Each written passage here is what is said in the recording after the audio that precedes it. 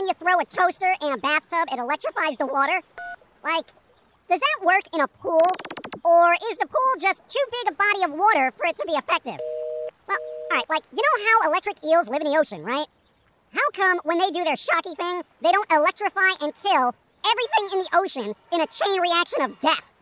Cause all fish are insulated with rubber. Duh. Dude, you gotta use an extension cord. Come on, man. Ow. Usually change color upon contact with a cursed toaster? Uh, I'm sure it's fine. You know, I still say you shouldn't have sold a toast on eBay, all right? You know, haunted or not, it made good toast.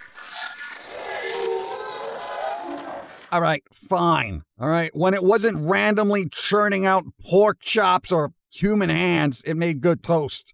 Okay? Yeah, but every breakfast was a surprise, okay? Look at this. It's just toast. What am I to do with this? It's not fun. Mm, don't put haunted toasters in a pool, cause it could change the water or cause a mass slaughter. Hide all your daughters, cause haunted toaster's in the water.